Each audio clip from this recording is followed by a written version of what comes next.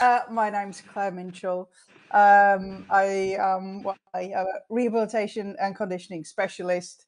I run Get Back to Sport. I also am co-director of Joint Approach, and um, I'm super passionate about bringing evidence-based um, techniques and information um, into and, and, strategies into rehabilitation that, that we commonly do in sport performance, but we don't get that translation into rehab very well.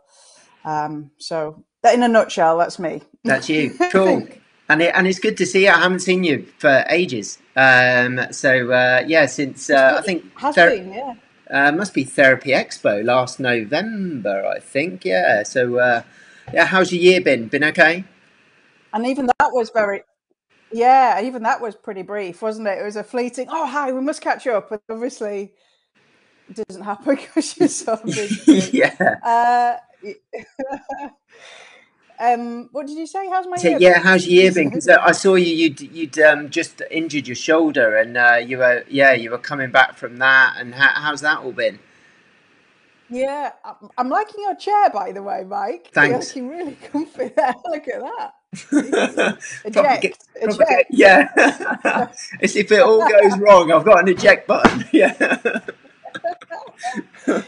um, I was, yeah, I think I think most people know. I was um, hit by a car and had um, yeah, uh, concussion and a, uh, a sternoclavicular joint um, surgery, and uh, yeah, it's about eighty percent there, maybe slightly less, I think. Um, but I'm here, which is which is amazing. no, in, it's good. Could, it, it, it, was uh, a possibility that I wouldn't be. So um, yeah, that's that's that's good. So I'm I'm by that token, I'm having an amazing year. yeah, yeah, it put, puts things into perspective yeah. when you've had something like that go on. Yeah, definitely. Um, well, anyway, enough about that. let's um, yeah, uh, let's talk about what we're, what we're, here for. So um, it's uh, it's definitely. So, I mean, obviously, I've I've done your um, level one course and loved it. And if uh, if anybody hasn't done it, then they've got to learn um, how to swear very loudly and uh,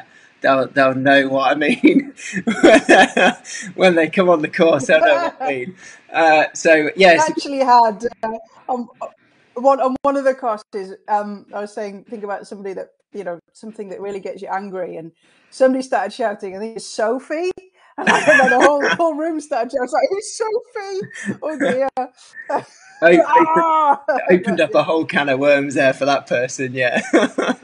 oh, brilliant. So, um, obviously, the the course that you did with us um, was all about um, all about strength training, integrating it into uh, into rehab, and um, there was some really um, there were some really key questions. And the very first question, or one of the first questions I remember you asking, uh, and I've seen you present and ask this as well, is what is strength? So over, over to you. What is strength?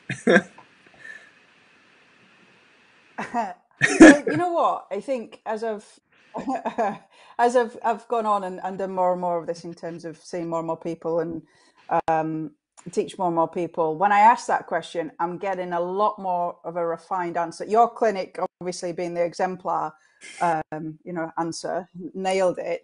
Um, but um, I'm getting a lot more refined answers from from people now. So whereas when I started doing this course and asking that question a few years ago, I'd get yeah. maybe five or six different answers, all of which weren't really specific. Um, you know, things like um, the ability to do activities of daily living, which clearly strength is important to enable to do that, but that's not the definition. And the, the really important thing in getting those definitions right is so that we're working to all this, towards this common and specific goal. Yeah. So, you know, to be, I suppose, really fastidious, the maximal strength is that, you know, maximal contractile force produced by a muscle or muscle group in a single contraction. So it's what is that muscle able to produce in a, in a single, very short effort?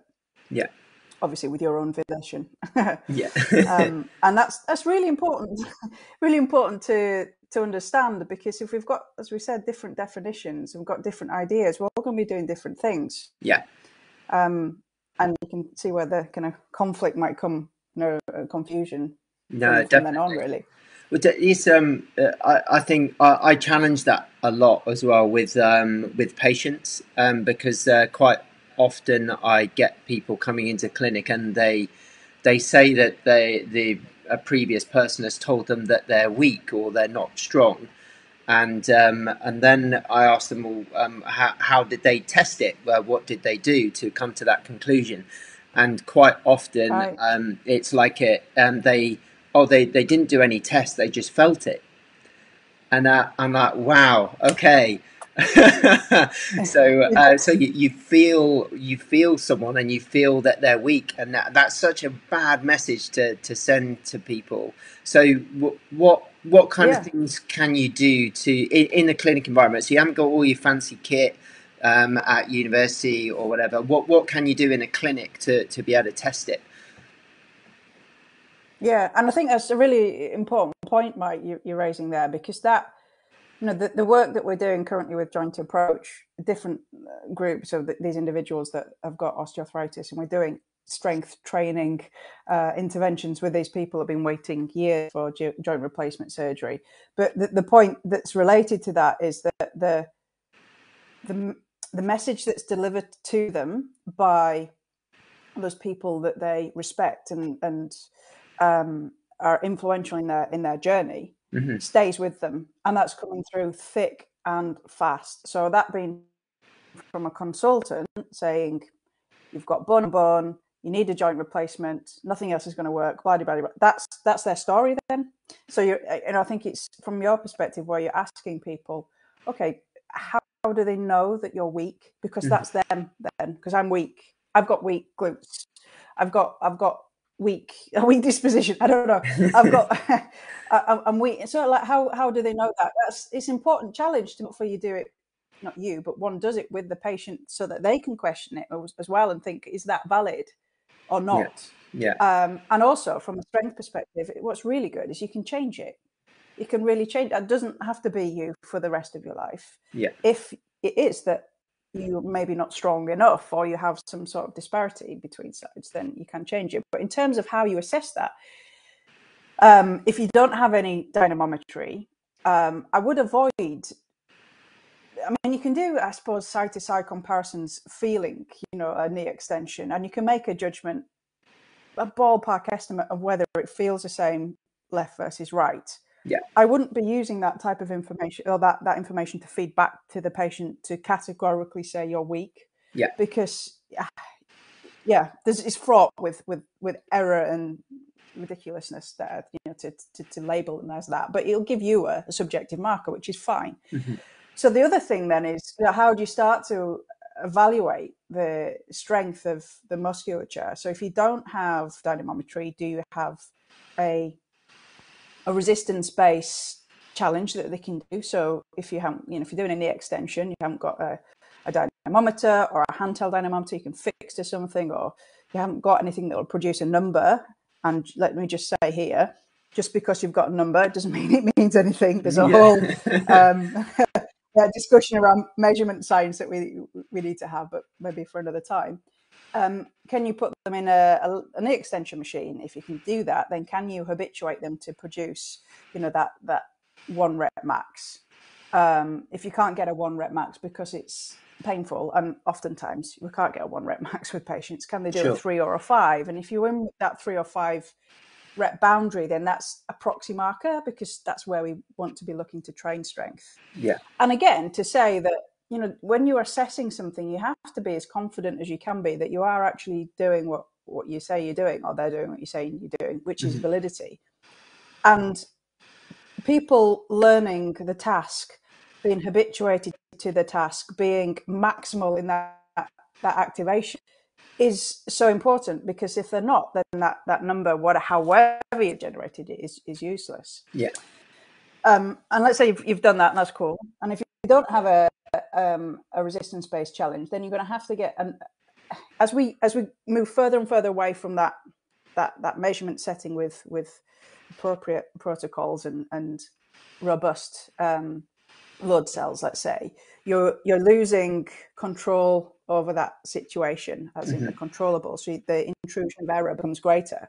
But you know, a proxy marker, what you know, something that you would expect to increase if muscle strength increased. So with the joint approach patients, we, we can't send out dynamometers and, and, information how to use them for to hundreds of patients. So what we use is a, a 30 second sit to stand. Now that's a measurement of function. It's not a measurement of strength, but mm-hmm. you know some of these patients, um, you know, it depends what their, their limitation is. But if somebody becomes stronger, then everything becomes relatively less maximal. So, yeah. you know, that's why endurance performance improves with increasing strength. So, a long winded answer is what do you have in terms of resources and what seems reasonable um, and challenging? If they, you know, you're doing something for, I, I, don't like even 30 seconds, for example, that's not an assessment of, of strength. So, we're talking short duration, high intensity stuff. If you can't get do that, then you keep working back. Yeah, yeah. what yeah. can you do? How, yeah. That, and that, I don't know if that answers the, the, the question. No, de- definitely, and I, I think that because that, that that's sometimes, oftentimes, the uh, the difficult uh, the difficult thing because you you know um, we may learn one rep maxes, uh, we may you know three reps, five reps, but people um, people struggle with it because the people that we see have got symptoms. So then the symptoms are the limiter rather than the strength being the limiter. So, um, how do we then modify that activity so that we can get at least some kind of measurement? Um, but then, probably longer term, because the symptoms have reduced, then that information will be less useful. But at least we've got a baseline to to start with, and um, uh, yeah, like exactly. like with the joint approach um, doing the more muscular endurance type activity is a, is is a good starting point for that population. So I think um, basically, I guess what I'm saying is something is better than nothing, and, and like you say, just kind of putting your finger in the air. At least you've got at least you've got something there um, to uh, to compare against. Yeah. yeah. And as long as you understand the limitations of that measurement as well, so we're never going to get in any walk of life anything that's a 100% accurate 100% of the time yeah. It's just statistically and it's impossible. We vary as humans from from rep one to rep two on an isometric test, given full recovery, will not give exactly the same output. We won't, and there'll also be an error associated with the the, the equipment you're using. Yeah. Um, but as long as you understand the limitations of those measurements and place um, appropriate weighting on them, then that's fine. And like you said, you've got a you've got a starting point to go from, and maybe because if you think about patients, like you just said there, it's going to be a a milieu of things that influence that that score if you're able to get a score, and that will include strength. It will include pain, consciously kind of limiting performance, and subconsciously as well, relating to motor unit recruitment and inhibition and all those things naturally feed into that that measurement. Yeah. so as those things start to improve then you start to get an improved um, score or improved output or whatever it is performance. Yeah yeah brilliant. So yeah it's that, that's you can't unless you're going to start to supramaximally stimulate peripheral nerves um, to, to get like evoked contractions um, to measure in patient populations, yeah. um, of which we've done, but it's it's not it's expensive, and, and, most people probably want that to happen to them. Yeah. Um, it's um, you're not going to get that true biologic maximal because because of every why the reason they've come to see you, right? Yeah, yeah, exactly. Yeah, brilliant. And uh, and then I guess um, because obviously with, with, the title today, uh, we're looking at strength and power. So power's just for athletes, though, isn't it?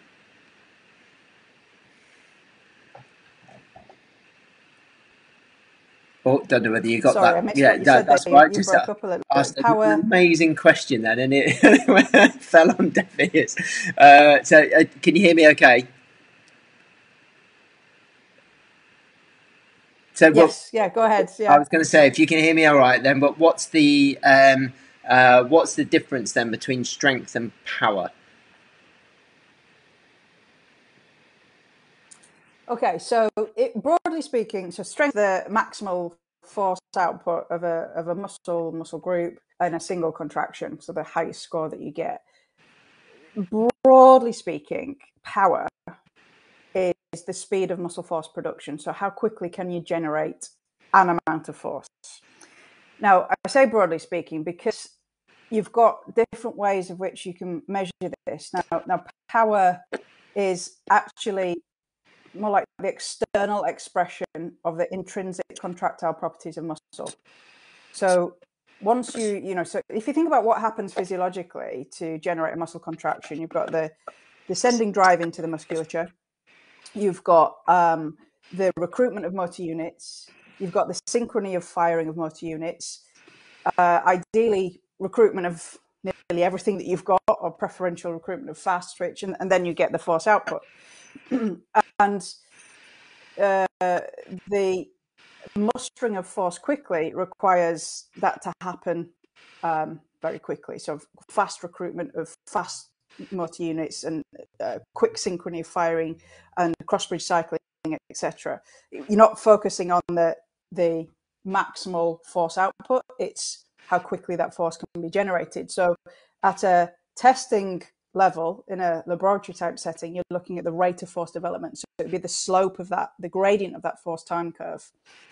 Then you layer on the human, if you like, or the rest of the human and or the task. So you it's either you know, if you think about power, you've got you know jumping automatically comes to mind, doesn't it? Yeah. So you do need good rate of force development, good rapidity of force production at the intrinsic co- contractile level. But then you've got human on top of that, or the whole body segment, or maybe you're throwing something, so the projectile as well. So power is like the external expression of that. And then when you come to a pragmatic level, again, so if we're talking about assessment of that, what is it that you would assess? Um, then it's most likely to be like the distance of something that's thrown, or the height that somebody has jumped, or the length of, of something. So that would be the, I suppose, the external expression of, of, of a, a, pragmatic uh, power test. Okay, and and how how would you how would you use that in, in rehab? What what's the importance with um, with developing that um, power element in a rehab setting? So yeah, that's a it's a really important important important point. So um, I always say strength first because if you know if anybody's done my my courses, I, that I describe that as the fuel tank. So that's your capacity. So if you're training power with a very low force uh, ability, then it kind of doesn't really. I mean, you'll get some strength adaptation, but you know, it's a mute point really. How quickly can you produce a very insufficient level of muscle force? For me, mm-hmm. it's all about generating and topping up that fuel tank, get that that contractile machinery, um, you know, the capacity of that topped right up. Then let you know if you want to go specific again, let's train how to express that quickly. Yeah. And if you think about how quickly injuries happen, you know, they they they, they happen in milliseconds, tens of milliseconds.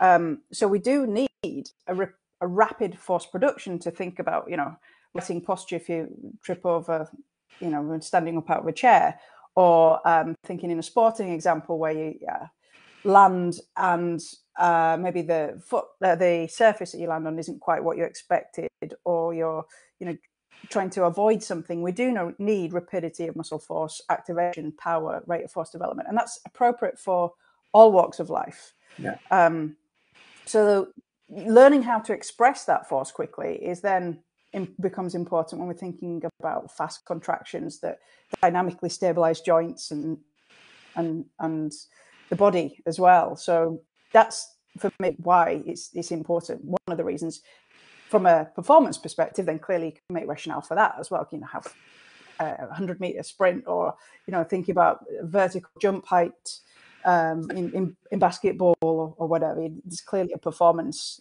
um, remit, but there is equally a, remit for um, rehabilitation and maybe the avoidance of a, a second uh, injury.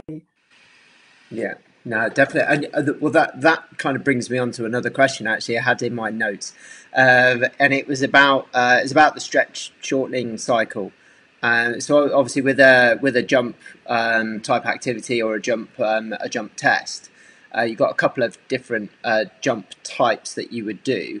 Um, what what would you do differently with say your um, OA sort of 60, 70 year old um, compared to a jump athlete? Why would you choose one over the other? And can you explain a little bit about what stretch shortening cycle is? Okay, so um, it comes down. I mean, first and foremost, it comes down to how much time do you have with the, the individual that, that that you've got, and what's their starting levels of capability, capacity, and then where do they want to get to? Yeah. And those all then start to form your. I mean, you know this, Mike, but you know, the, the, you, you're training your rehab plan. Is it that you've mm-hmm. only got them for twelve weeks? They're really weak, and you know the I suppose you know they want to be able to walk on unstable ground, or they want to start to you know they want to go to the S and C coach and start to get back into to playing. So your remit is strength, strength, strength, strength. A good twelve weeks of more. You know, people that are chronically deconditioned, you absolutely do. So because as well we have, um, if you think about the physiologic determinants of strength and rate of performance, there are there are some that are shared mm-hmm. like recruitment of fast twitch motor units, like neural drive, like synchrony of motor unit firing. So because of that nature of, you know, if you're training strength, true strength, so that three to five rep max range, you absolutely need to recruit everything you've got to accomplish that resistance challenge. Uh, so therefore, there is some development in rate of force development in those individuals that are de- deconditioned. Mm-hmm. Um, following a strength training program. Yeah. So that's that's good to know. Um, but so from that perspective, I think you know the OA knee. It's very rare that you get them out of that because oftentimes it's twelve weeks. It's always twelve weeks. it's 12 weeks, 12 weeks. But if you're able to see them for longer, then you might start to to do some other things that involve more rapid activations. So you know, lower the load a little bit or make it uh, inverted commas functional. So if that's a, a, chair stand or a step up with with extra resistance, yeah. and the the goal is fast rather than as much as you can. Yeah. Um, and it all it, hinges on that that end goal, that perform. You know, if it's a performance task and it's a vertical jump athlete, still are they strong enough in that? And then we can have a debate what what enough is. But you know, is it that they've come back off a um, I don't know, maybe they've had an Achilles problem and, you know, that you're, you're rehabbing them following that. And, you know, you've got to get the strength back up. You've also got to condition the, the non-contractile tissue as well to accommodate as well as produce, you know, or, take those forces. And the stretch cycling, which that was a good segue into the the stretch cycling um, uh, uh, cycle is where you've got a well, let's let's take two two jumps that you were kind of intimating there. One is a, a vertical jump and one is a counter movement jump. So the vertical jump is from a standing start. You're in a squat position with ideally knees and hips at 90 degrees. You pause there for a few seconds and then you jump up as high as you possibly can. And there's various ways in which you can measure um, vertical jump height or power if you want to convert it. Now, that's from a standing start. If you consider the individual does repeats that test, except this time they squat down immediately, jump back up. What you have is this um, uh, load storage, uh, sorry, storage of, of elastic, I suppose, energy and force within the within the tissues that then recoils as you start to come back up. So that's why, or one of the reasons why, you can jump higher from a counter movement jump than you can uh, from a from a squat jump. Um, and, and, whether you use these, again, it, it, depends on the on the application of these types of activities. It depends on the application and you know you're rehabilitating to or or what aiming for in terms of a of a goal. Yeah. Would you would you choose a different method of jump depending on an injury that the person has had? So if they had more of a uh, um, a tendon injury, MTJ, enthesis, or something like that, would you change? Obviously, it's it's rehabbed and they're able to do the jumping now, but would you would you bias one jump over another to try and target certain tissues? Can you do that, or is it not possible to uh, to do it in that way? I think it, that will come down to your clinical reasoning. What is it that you need to build resilience in? Mm-hmm. Uh, uh, and what tissues. So again, strength first, strength yep. first, strength first. Get the strength into the tissues. Get the tendon, you know, more accommodating to, to load and less uh, tolerating of load. Um, uh, become a stiffer system. Then you start to, to introduce the, the rapidity of loading and stretch shortening cycling cycles, perhaps. But just a, a point on that you can get the same, if not, and sometimes better, increases in vertical jump height by doing training uh, mid thigh rack pull versus a plyometric program. Yeah. So it's not just about jumping to increase jumping. Yeah. You know, what are you doing each exercise for? So what's if you think about the strengths and limitations of resistance and, and plyometric activity. So um, let's take plyometrics you're you're often um, and, and you can grade these and progress them to to quite decent uh, intensities but your limiting factor is your body mass or how much you feel comfortable in holding in your hands or on your on your on your back in a in a weight spread. Um, that's that's the limiting factor.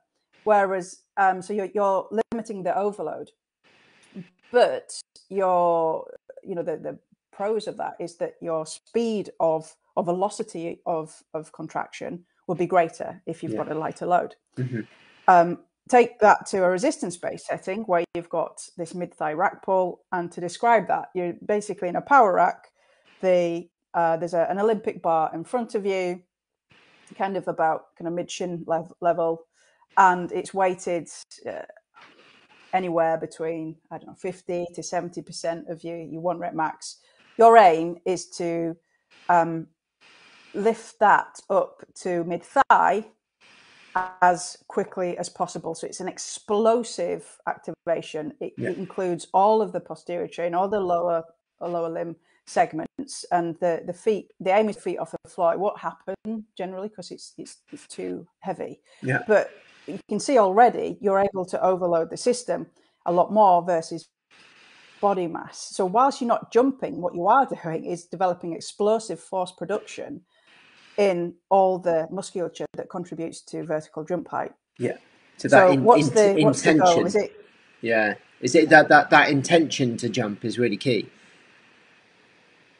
Absolutely. Yeah. Yeah. Yeah. You're right. You know, the one of the or the fundamental difference between, and we talk about this in the the, the power coach um, I've just enrolled to, um, the fundamental difference between training for strength and training for power is exactly what you said. It's the intention to be explosive. Mm. Now, whether or not that what you see externally looks fast will clearly be limited by how much mass you're trying to shift. Yeah. But that doesn't matter. It's not a strength effort where you're just grinding it out and it takes three seconds and you know it doesn't really matter. No, the intention is to be explosive. Yeah. And that really is a useful cue, a really useful cue uh, for people to, to, you know, enhance that explosive force production. Yeah, brilliant. And um, I think one of the one of the things that was really really stuck in my mind after the session we did with you was, um, and you've mentioned it already, is uh, about um, how we get that information from from the brain um, through to the muscles that you want to activate and and that EMD, uh, that electromechanical delay, and that being one of the key um, key issues with with injury. See, I did learn something. So, so um, I was I was definitely listening. I'm uh, impressed, Mike. So, uh, did, could, could, you? Um, you should be talking about this, not me. Don't do that to me. Uh, yeah, do, do, you want to explain a little bit more about that? Because I, I, thought that was one of the key uh, key things about about injury rehab and, and how strength training can play a part. Sure. So if we think about if we take what happens at the muscle site, so um, we're forgetting information processing, i.e., you're responding to a cue of some sort that that's threatening. We're forgetting the transmission of the signal through the peripheral and uh, central and peripheral nervous system. We're at the muscle site now where we've received instruction that that muscle needs to contract mm-hmm. bloody fast, let's say, and strong. So, so inherent with every skeletal muscle is this delay time. There's a time delay between the electrical activity commencing in the musculature, which we're able to detect through surface electromyography, um, and the initiation of, of, force production. So that's very, you know, it's, it's, a minuscule amount. It's just initiation of force. It's not meaningful yet, but it, it shows that there's a the, the force has started be, to be produced. And there's a delay. There's a lag time there. And I said that happens in every skeletal muscle. And the importance of this. So, you know, a, a good inverted commas delay or a quick delay in, in, let's say, recreational athletes for the quads might be something like 30 milliseconds.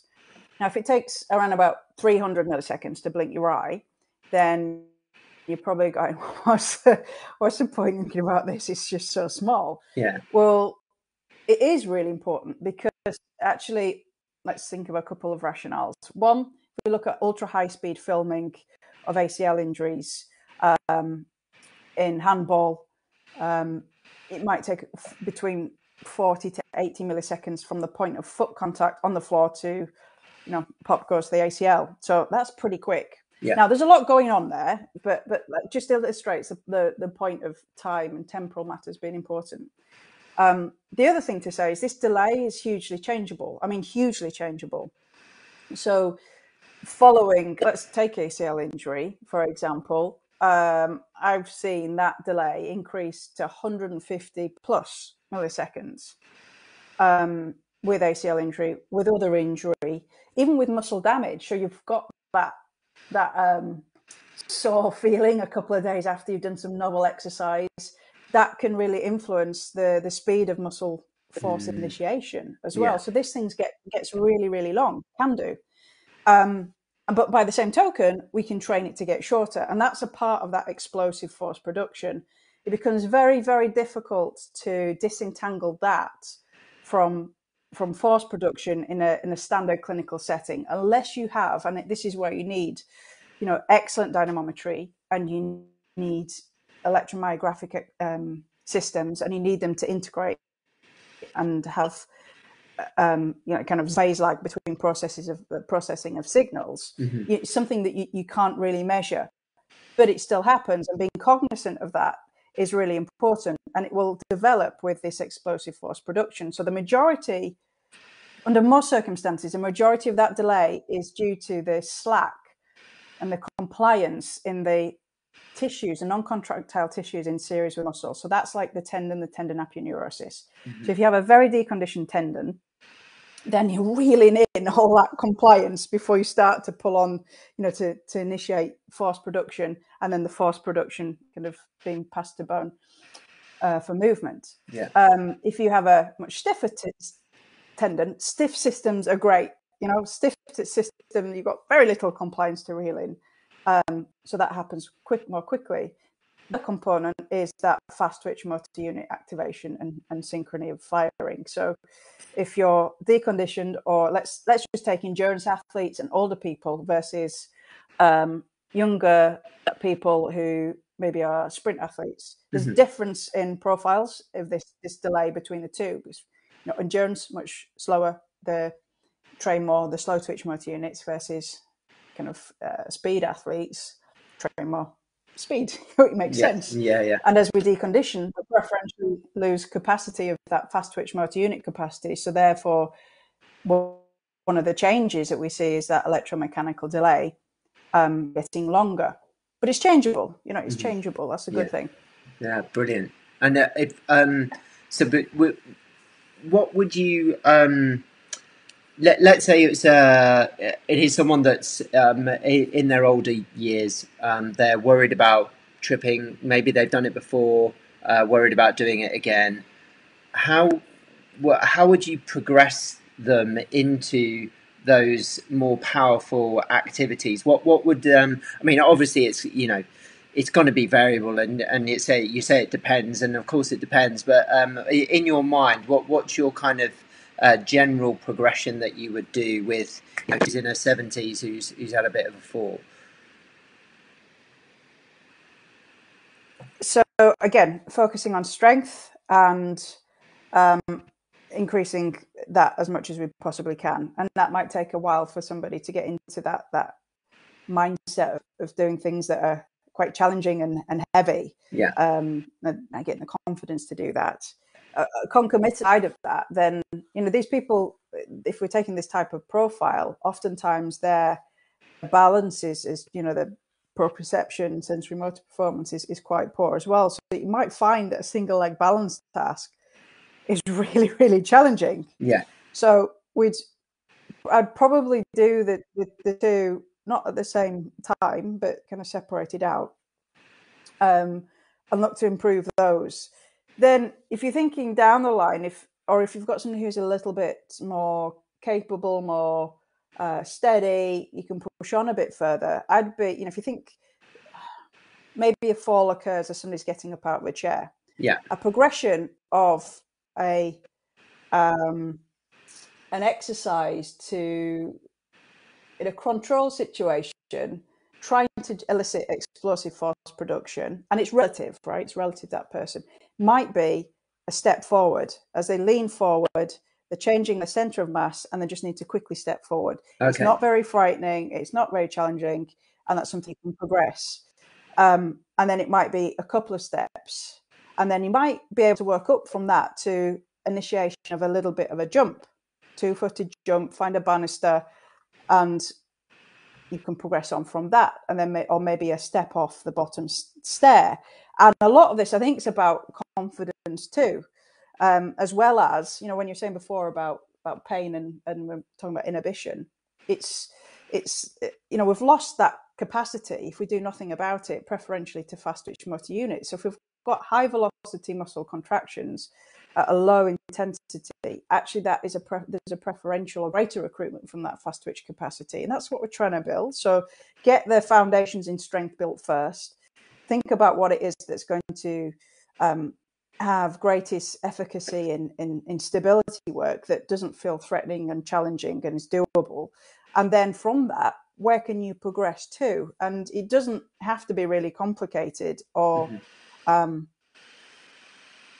you know, kind of uh, scary for them. You know, that step forward, at, you know, is, is something that could be quite efficacious. And then you're thinking about, well, can we get them with a, a loaded backpack? And, you know, th- there's all manner of places you can go with it. Yeah, yeah. I've, I've got a, um, a lady that I, I see, we've been working on this quite a lot. And uh, we use a Waitrose uh, carrier bag and uh, uh, yes. lo- unilateral loading uh, with uh, um, st- stepping over objects and doing little little like um, quick steps, that kind of thing.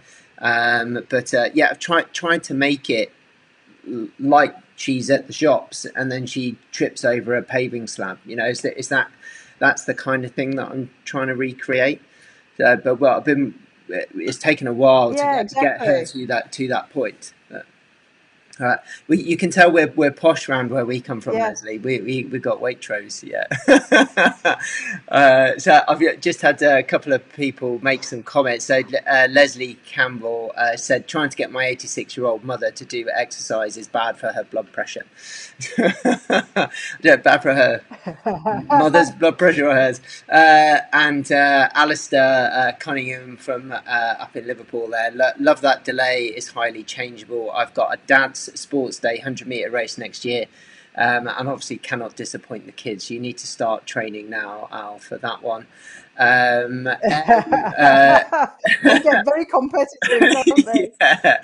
uh, so Ev said that's such a great question. Uh, constantly trying to keep things interesting with my older, less steady clients. So thank you, thank you. Um, yeah, and if anybody else has got any questions, just pop pop them through. Um, that would be great. So I'm uh, conscious of time because obviously we we started a little bit later, so. Uh, um, we'll, we'll, have to finish uh, shorten it a little bit. But um, yeah, we, have got. Um, uh, I've got on my list of questions as well um, a bit about program design.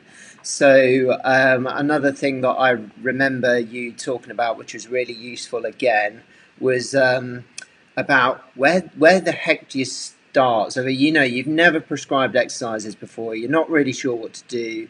Um, you've create you've worked out what someone's let's say ten rep max is, so we can get them going on an endurance program. Um, but um, how many exercises do you do? how many sets, how many reps, um, how do you choose all that stuff? Uh, and, and, again, I know it's it's very um, the the kind of answer is it depends, but um, have you got a bit of a kind of structure of, of how you would you would start people and then progress people through? What what kind of things would you be uh, would you be looking at there? Um, it really de- it does really depend on that person. I have to have to say that, don't I? Uh, but how you know understand what what's going to get done. That's the first thing. So it's pointless going.